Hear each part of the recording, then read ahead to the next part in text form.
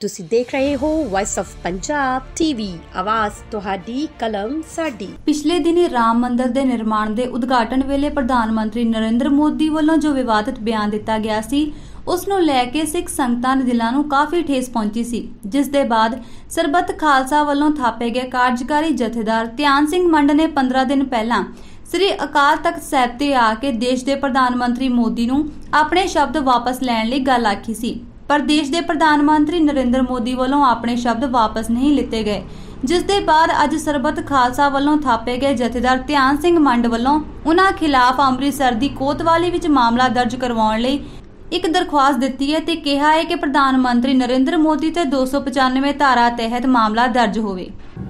ਗੁਰੂ ਪਿਆਰੇ ਖਾਲਸਾ ਜੀ, ਆਪ ਭਲੀ ਪ੍ਰਕਾਰ ਜਾਣਦੇ ਹੋ ਕਿ ਪਿਛਲੇ ਦਿਨੀ ਅਯੁੱਧਿਆ ਵਿਖੇ ਭਾਰਤ ਦੇ ਪ੍ਰਧਾਨ ਮੰਤਰੀ ਨਰਿੰਦਰ ਮੋਦੀ ਨੇ ਬਿਆਨ ਦੇ ਕੇ ਗੁਰੂ ਗੋਬਿੰਦ ਸਿੰਘ ਜੀ ਦੇ ਗੋਬਿੰਦ ਰਮੈਨ ਲਿਖੀ ਸੀ। ਸਿੱਖ ਕੌਮ ਦੀ ਨਿਆਰੀ ਹਸਤੀ ਨੂੰ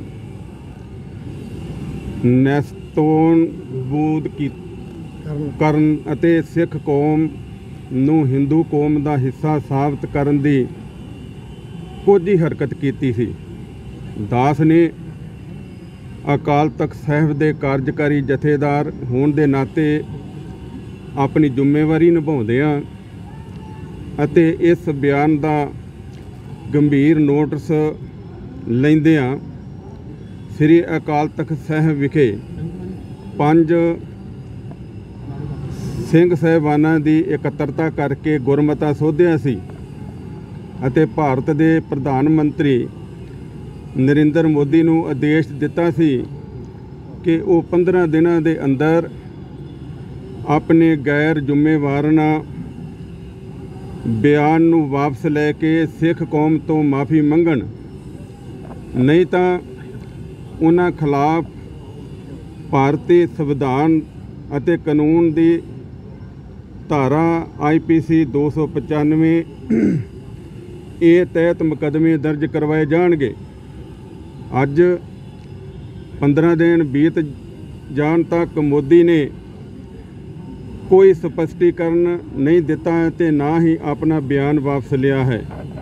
ਇਸ ਕਰਕੇ ਅੱਜ ਫਿਰ ਪੰਜ ਸਿੰਘ ਸਹਿਬਾਨ ਨੇ ਗੁਰਮਤਾ ਕਰਕੇ ਫੈਸਲਾ ਲਿਆ ਹੈ ਕਿ ਸਾਰੀ ਸਿੱਖ ਕੌਮ ਨੂੰ ਆਦੇਸ਼ ਦਿੱਤਾ ਜਾਵੇ ਕਿ ਸਿੱਖ ਕੌਮ ਦੀ ਨਿਆਰੀ ਹਸਤੀ ਉੱਤੇ ਦੇਸ਼ ਦੇ ਪ੍ਰਧਾਨ ਮੰਤਰੀ ਨਰਿੰਦਰ ਮੋਦੀ ਵੱਲੋਂ ਕੀਤੇ ਹਮਲੇ ਦੇ ਜਵਾਬ ਵਿੱਚ ਸ਼੍ਰੋਮਣੀ ਗੁਰਦੁਆਰਾ ਪ੍ਰਬੰਧਕ ਕਮੇਟੀ ਸਮੇਤ ਭਾਰਤ ਵਿਚਲੀਆਂ ਸਾਰੀਆਂ ਗੁਰਦੁਆਰਾ ਕਮੇਟੀਆਂ, ਪੰਥਕ ਸੰਸਥਾਵਾਂ ਸਿੱਖ ਸੰਪਰਦਾਵਾਂ, ਸਿੱਖ ਮਹਾਂਪੁਰਖ, ਪ੍ਰਚਾਰਕ, ਸਿੱਖ ਰਾਜਸੀ ਪਾਰਟੀਆਂ, ਪਿੰਡਾਂ ਦੇ ਗੁਰਦੁਆਰਿਆਂ ਦੀਆਂ ਦੀਆਂ ਲੋਕਲ ਕਮੇਟੀਆਂ, ਆਪੋ ਆਪਣੇ ਨੇੜਲੇ ਥਾਣਿਆਂ ਵਿੱਚ ਜਾ ਕੇ ਜ਼ਿਲ੍ਹਾ ਪੁਲਿਸ ਅਧਿਕਾਰੀਆਂ ਕੋਲ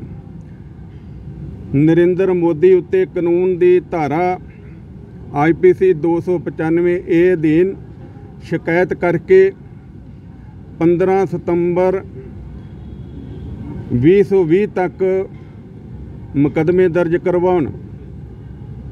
ਵਿਦੇਸ਼ ਵਿੱਚ ਵਸਦੀਆਂ ਸਮੂਹ ਸਿੱਖ ਸੰਗਤਾਂ, ਗੁਰਦੁਆਰਾ ਪ੍ਰਬੰਧਕ ਕਮੇਟੀਆਂ, ਸਮੂਹ ਸਿੱਖ ਜਥੇਬੰਦੀਆਂ, ਕਮਾਂਤਰੀ ਅਦਾਲਤ ਵਿੱਚ ਮੁਕਦਮਾ ਚਲਾਉਣ, ਚਲਵਾਉਣ ਅਤੇ ਯੂਐਨਓ ਵਿੱਚ ਇਸ ਬਾਰੇ ਸ਼ਿਕਾਇਤ ਕਰਨ।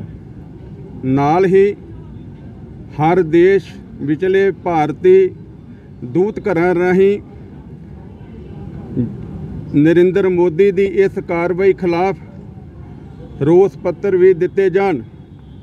ਜੇਕਰ ਸਰਕਾਰੀ ਦਬਾਅ ਕਰਕੇ ਪੁਲਿਸ ਮੁਕਦਮੇ ਦਰਜ ਨਹੀਂ ਕਰਦੀ ਤਾਂ ਸਿੱਖ ਵਕੀਲਾਂ ਨੂੰ ਅਦਾਲਤੀ ਕਾਰਵਾਈ ਵਾਸਤੇ ਕਮਰ ਕੱਸੇ ਕਸ ਲੈਣ, ਲੈਣੇ ਚਾਹੀਦੇ ਹਨ।